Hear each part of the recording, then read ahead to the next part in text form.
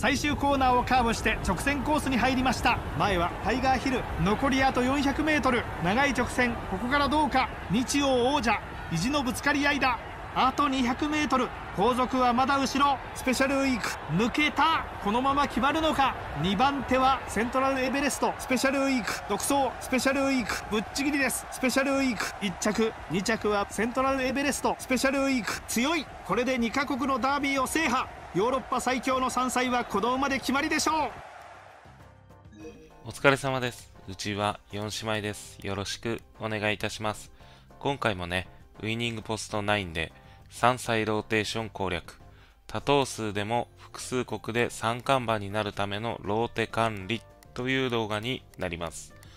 今ね画面に映っているのがグラスワンダーっていうね本当にね素晴らしい馬の一頭です。でまあ世代をね代表する馬の一頭なんですけども、まあ、グラスワンダーがね属したグラスワンダー世代まあまたスペシャルウィーク世代っていうのかもしれないんですけどもこの世代っていうのはえ前回ね、取り上げさせていただいたサイレンス鈴鹿が属していた大気シャトル世代のね、1個下なんですね。で、グラスワンダー世代っていうのは、まあ、その後ね、テイエムオペラオ世代っていうのがあって、このね、大気シャトル世代、グラスワンダー世代、テイエムオペラオ世代っていうのね、この3、4年の間に、えー、本当にね、粒揃いの馬がザラッとね、本当揃ったものすごいね、素晴らしい競馬界がね、盛り上がった年代なんですけども、まあ、その中でね、グラスワンダー世代っていうのは代表馬がね、グラスワンダースペシャルウィーク、セイウンスカイっていうね、えー、まあその他にもいるんですけども、この3頭をね、今回僕は所有しております。なのでね、同一馬主でね、セイウンスカイ、グラスワンダースペシャルウィークっていうね、素質馬をね、持っている状態で、今3歳のクラシックを迎えております。ということはですね、素質馬がね、多頭数の状態で管理されているので、日本国内でね、バチバチやっちゃったら、えー、まあ、同じね、馬主でね、まあ、ありますよ。実際の、えー、まあ、クラシックのレースでも、同じ勝負服でね、叩き合うということもあるんですけども、できればやっぱりね、その一頭一頭がね、素晴らしい活躍をしてもらいたいじゃないですか、こういうゲームっていうのは。ってなると、やっぱりこの多頭数のね、ローテーション管理っていうのが、3歳っていうのは限られているので、特にね、レースが限られているので、重要になってくると思ったので、少しね、こういう動画を作りたいなと思ったので、今動画を作っておりますけども、えっ、ー、と、まあ、3歳ローテーションっていうのは、クラシックっていうものですよね。で、やっぱりね、クラシックっていうのでね、こだわっていきたいのはね、三冠って名の付くものだと思います。今ね、グラスワンダーの、レースの予定のところなんですけども、こんなに走らせるんですかっていうぐらいね、カツカツのメニューをグラスワンダーにはね、お願いしようと思っております。正直ね、健康がね、D しかないので、果たしてね、これ、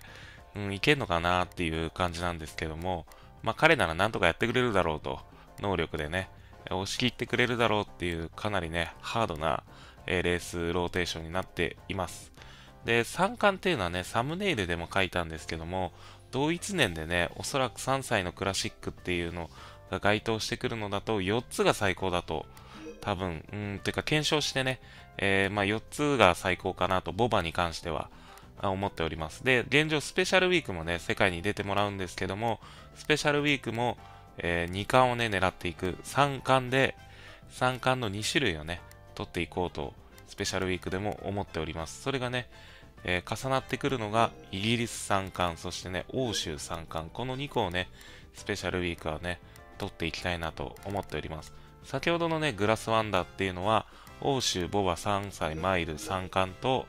えー、フランスの3冠、この2つをね、セットしておりますので、まあこれがね、比較的ね、取りやすい3冠の、え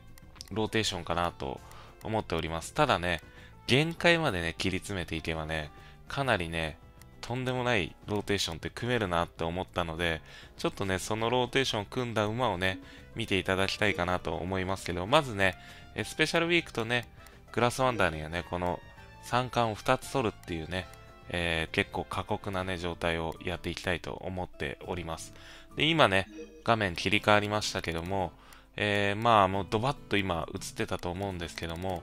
えー、まずね、日本国内の3冠を絡めての、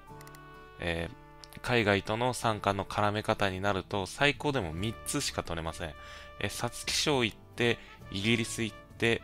え戻ってきて、またイギリス行って、欧州行ってっていうね、この3冠、要は簡単に言うと日本の3冠、ボバ3冠、イギリス3冠、そしてね、欧州3冠、この3種類がね、日本を絡める場合は、どうしてもこれが限界だっていう形になります。ただね、まあ、ローテーション見ていただいてもね、赤いのが2回ありますし、まあ、ちょっとね、厳しいかなっていうぐらいですね。まあ、レベルで5段階で言ったらね、まあ、4か3ぐらいのね、きつさかなと思います、ローテーション的には。ただまあ、秋口にもね、レースを、えー、まあ、集約してるイギリスセントレジャーら辺からはね、秋口になっていくので、まあ、割となんとか、えー、まあ強い馬だったら押し切れるんじゃないのかなっていうところなんですけども、唯一ね、このローテーションのネックは、イギリス2000ギニーがね、マイルなので、うん、結構ね、距離適性のね、柔軟性の幅がないと厳しい、うん、ローテーションにはなるんですけども、これはね、いずれちょっと挑戦していきたいなと思うローテーションの1個なので、ちょっと取り上げさせていただいております。意外とね、こう忘れ去られているんですけども、アメリカの三冠、米国三冠ですね。これはね、どうしてもね、忘れ去られているというよりはね、ダートのね、三冠なので、なかなかね、日本で回しているとね、えー、まあ、印象が薄いというか、まあ、当然ね、ケンタッキーダービーね、からなるね、この三冠っていうのはね、もうアメリカでも本当に、もうすべてのね、3歳馬がね、目指してくるような、えー、レースがね、多いんですけども、なんでね、手薄になるかっていうと、米国三冠を取りに行くと、他の三冠一切取れないです。あのー、もう、日本ダービーだったり、まあ、イギリスダービーだったりっていうのもね、あの、検疫があって、前後1週間っていうのは移動ができないっていうね、考え方。まあ、同じ地区だったらできるんですけども、アメリカからね、え国を変えるっていうね、欧州から米国とかも行ったり来たりできないので、こういう感じでね、1週間前後にね、えー、ビッグレースがはまってきてしまってるので、なかなかね、この米国三冠との組み合わせっていうのは厳しいので、米国三冠も米国三冠を目指していくっていうレースのローテーションになってくるかなと思います。そしてね、このもうものすごい量のレースがね、ドバッと出たんですけども、これがね、最高。3冠をね、4つ取るっていうね、多分この世で一番ハードなローテーションかなと、えー、思います。これですね、えっ、ー、と、日本をね、一切考えないで、え、ローテーション組むと、えイギリス、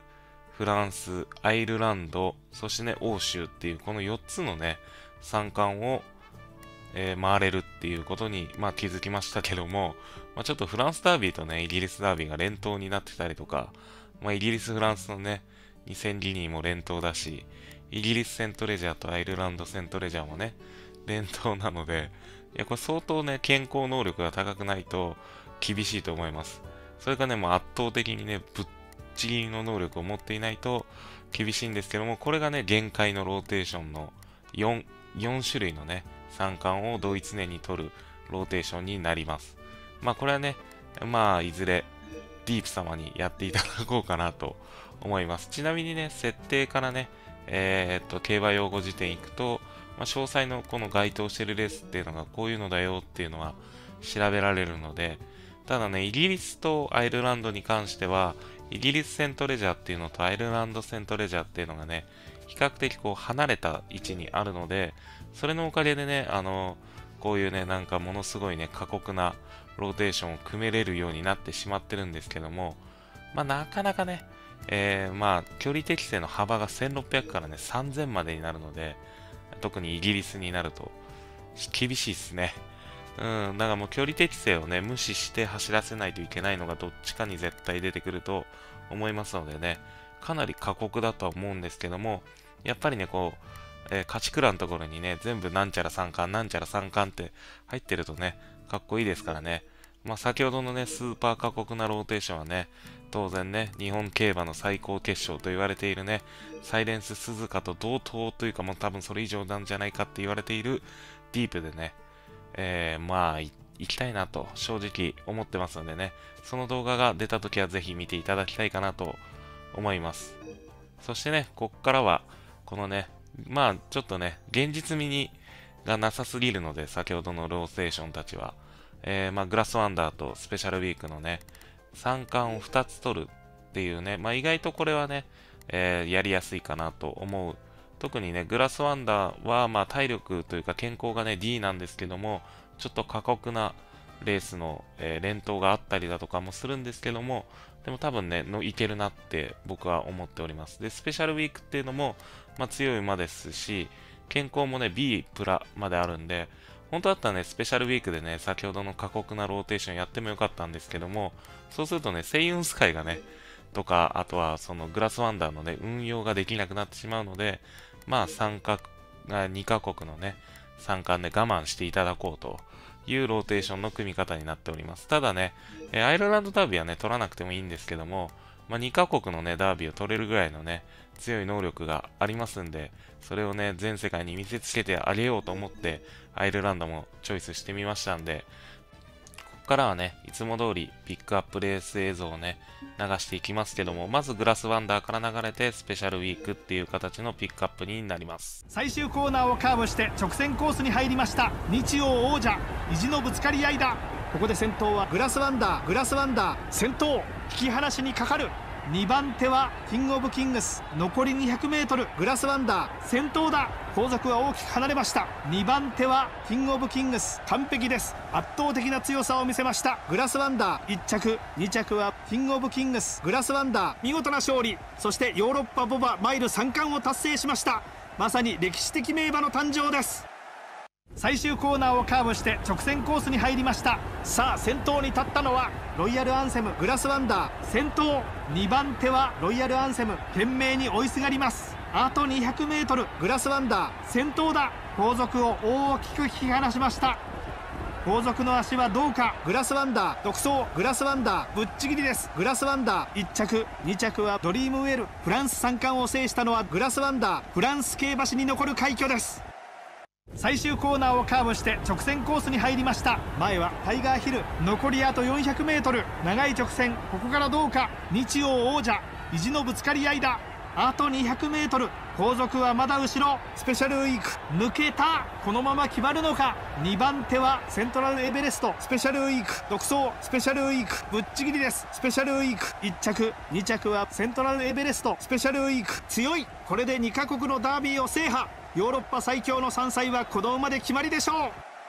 最終コーナーをカーブして直線コースに入りました。前はフレッシュハミング。残りあと 400m 長い直線。ここからどうか。フレッシュハミング。先頭。スペシャルウィーク。先頭。あと 200m スペシャルウィーク。先頭だ。後続を大きく引き離しました。後続の足はどうか？スペシャルウィーク。独走。スペシャルウィーク。ぶっちぎりです。スペシャルウィーク。1着。2着はネダウィー。スペシャルウィーク。快挙達成。距離の壁を難なく乗り越え見事本場イギリスの三冠を制しました。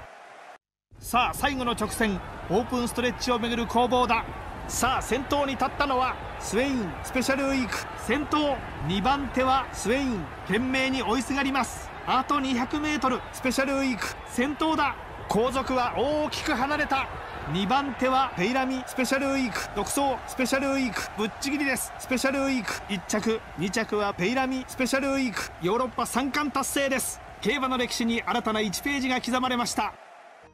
はい、ということでね、スペシャルウィーク。めちゃくちゃ強いですね。欧州3冠、イギリス3冠、アイルランドダービーをね、制覇しました。もうね、